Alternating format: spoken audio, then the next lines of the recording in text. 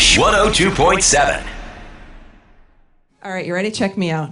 Marc, Jerry, Benj, Chris, and Richard. Well done. Thank you. I did my homework. Thanks for being here today, guys. Oh, thank you. I mean, this is a pro pro situation we got going on in we're pros. so I have to tell you, evolution of a song completely stressed me out. you. I was feeling your pain. That was anxiety riddled. Well, thank you. And uh, you know, we brought it upon ourselves, Mm-hmm. um, but we really we we didn't feel much stress. Um, we felt confident. I mean, Yeah. we really we really are confident in what we're doing because it's it's all it's all there already. We just got to tap into it. Yeah. And um, we were prepared to let the cameras roll until we found it. Mm-hmm. Uh, we we lucked out a lot of times because of uh, the inspiration was there. So we just captured it. We got really lucky. I, watching that trailer um, really takes it home for me. It's nice. They all loved it, right? That was really great. I love that New York played a pretty big role in at least one of the songs. Oh, New York plays a huge role in our in our career in a lot of in a lot of ways. We've spent so much time recording and performing here, um, writing here a ton. Uh, that it's it's really I would say a second home for the for the group. I mean, over the years we've done a lot of albums here, and um, it continues. It's like a movie out there. Yeah. You know, everywhere you look, there's a story. Yeah. Now, does the surroundings seep into the songwriting? Where, where you're writing, does that affect it? Absolutely. You know, I just we, we we keep it honest. We write about life experience. If you're immersed in the city, you can't help but feel it and feel its energy, and that that permeates itself through through writing and everything else in one's life as well. Yeah. Okay, now I have two tiny little complaints about evolution of a song. A little disappointed in your New York team baseball choice. Okay. I'm not going to comment on it because I don't know which way you're, you know, I never, never, oh, look, that's the one thing we, we learn is we, we work with a lot of the teams. We, we kind of like Oh, them so all. you can, okay. You know what I'm but you, you were wearing a Yankees hat. Let's just. Uh, okay, I guess the room's on your side. Whatever. We're the ones who got you here. That's okay. right. Now the other complaint. Now, when you submitted the two songs, and your manager and the two guys from Concord Music Group were listening to the songs, what was missing from that room? Us? No, go on. A woman's perspective. Oh, believe me, this is a this is a daily conversation with us. We always feel as if we are lacking in that. We need that perspective. That's why we have such wonderful wives in our lives that um, are always giving us advice, always leading us the right way, where we are programmed to go the wrong way. um, but yeah, that perspective is there, but it wasn't on camera. And No. you're absolutely right. Yes. And we're actually um, actively um, looking to just work with so many amazing female artists and um, writers and producers, and we we know that we absolutely uh, could benefit greatly from just. Yeah, I have to say, I disagreed with your manager when he was picking on the lyrics to follow me, follow you. I was team follow me, follow you from the start. I don't know. How many of you are on my side with that one? Oh, nobody's got my back. Nobody has my back today. This is awesome. So, anyway, thank you, Paul. I'm so glad you went with I Go Through, anyway, is what I was trying to say. No, that's good. Benj was on Team Follow Me, Follow You. I was. Yeah, so that- he's with you. Prior to the production process, once that went in, it, the song completely changed. I just couldn't picture it the the way it is now at that point. And once we got in that room and really made it what it is now, everything changed for all of us. I that think. one Like- touched my heart, I gotta say. Thank you. You know, it, and it, it again, we we we always want to write songs uh, about life as we see it. We aren't interested in making up stories. We may embellish upon our, our own lives to make it a little more interesting, but uh, we're never out there looking for fake stories, you know. And this song, they all come from the same place. Uh, it's from us. So I'm glad you liked it. I do see similarities between the two songs, even though they sound different. They're about the same thing. Yeah, yeah. Uh, what was the deal with the typewriter in Nashville? So that typewriter was actually a gift from Tom Hanks to Nathan Chapman. So Nathan worked with um, with uh, Rita Wilson, um, and as a gift, as a thank you, and just a French uh, friendship thing. He gave him a typewriter. And I have recently gotten a typewriter to work with for my wife. And Nathan said, why don't we type it up on here? And that was it. It was au naturel. That was not staged. Oh, really? None of that was staged. I thought It- maybe he did that with everybody he works and now with. he does. Oh. He does. Now that he got that gift, at the end of this session, they type up the lyric. And uh, the 627 tattoo, I'm dying to know So what that is. yes, this is um, I would say lucky numbers. Okay. Um, on on a phone back in the day. I mean, I'm going to date myself with this whole story, but all right. there used to be things called pagers. and uh, well, we were just talking about typewriters. So. okay, so now we're moving up 20 years to pagers.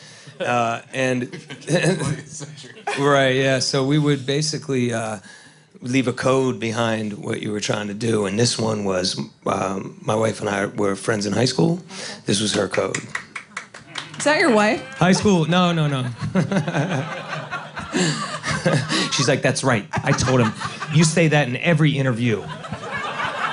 And uh, you, you say one more word, I'll put my name on your forehead. Please tell me that when you guys were together in high school that you wrote a cheesy, lame love song to try and impress a girl. No, we were just BFF. We were just best friends. No, but I was saying, so you We didn't- weren't together in high school. Oh. She she na- helped me navigate through all my stupidity in high school, and then one day I said, "Oh yeah, yeah, yeah, that that that's the one." Okay. it's but, not all But this. you never wrote a cheesy love song to try and impress a girl? Of course. Do you remember any of them? Yeah, I wrote one for my girl called "Letter in My Hand." Yeah. Yeah, you know what I'm talking about. I wrote, I wrote. Our first single was called "Hey Girl," and that was, uh, yeah. No, but I mean like bad songs that you don't ever want to see the light of day. Not bad songs. Come on, get out of here. No, I'm just kidding. Of course. Yeah, no, I I write one out of every two. All right, well, XX is the new album, which has got some old stuff on it, but I love that you guys use some tracks from uh, live at MSG. Yeah, absolutely. It was it was it was tough finding that balance. We knew that quintessential versions of those songs, some were live and some of them were studio. So we went through all the archives and all of our material, and it was fun doing it. But uh, yeah, you know, MSG. Uh, you can't tell the story with o- of OAR without mentioning Madison Square Garden and us playing there. And it was a really magical time in our lives, and we, you know we were there. We didn't expect to really create a lot of noise there. We ended up selling it out several times. And when we were there, it was all our friends, all of our family. Everybody went and played there together, whether you were on stage or not. So it was a super important part. Stuff at Red Rocks as well, another big important place for us as well. You know, I'll be back at MSG real soon. Yeah, Uh, hey. I'm you- the one with the microphone. Pipe down. Paul's looking to take your job. Yeah. yeah I have to know, Crazy Game of Poker. Yeah. Has anyone ever caught a card in the eye? There's got to be some injuries with that song. Didn't you I last got week? nailed in the face in Denver. Usually it's on accident because people are just having a great time throwing cards. This guy was staring at me. and actually, Marc called him out. Uh, the security guard said, "Hey, get that dude." And he went to the wrong guy. And right when he went to the wrong guy, the guy hit me right in the face. Yeah, that could be dangerous. Yeah, I know Yeah. who he is. So we say we appreciate everybody coming to the shows and bringing the cards and being all uh, passionate about it. up, not at. Okay, that's how we do it. Okay, now it celebrates 20 years that you guys have been together. right. I don't want to start trouble, but who knows you better at this point, your wives or the guys in the band? Oh man. Sorry, I almost choked. I, uh, what I was saying. And I know what he choked about. So yes, Yeah, that's yeah, what- yeah, what I would exactly. That would answers your yeah. question. Yeah. Okay, I was just trying to start some trouble. And now with your kids, are you going to be super disappointed when, if they like terrible music? No, no, because I honestly look, I, the way I look at music, it, it I mean, look, I, I like, I respect and appreciate all music, you know, because somebody somewhere sat there and put their heart out on a piece of paper, and you may see it and hear it as, um, wow, this is corny or something, but someone's connecting to it. It's moving them somehow. So no, I never judge what other people like. I know what I like, and I don't care what other people like. Okay, I'll, I'll ask it a different way. What if you play them Pearl Jam and they say, oh, you know what, Dad? I don't like that. Oh, they wouldn't even make it through. Yeah, they don't I listen do to any of the music. all I the think. time. Yeah. I do that all the time. No, my little girl, she's the one who is um, a huge music fan. And um, she has her lineup, and we have this Alexa thing.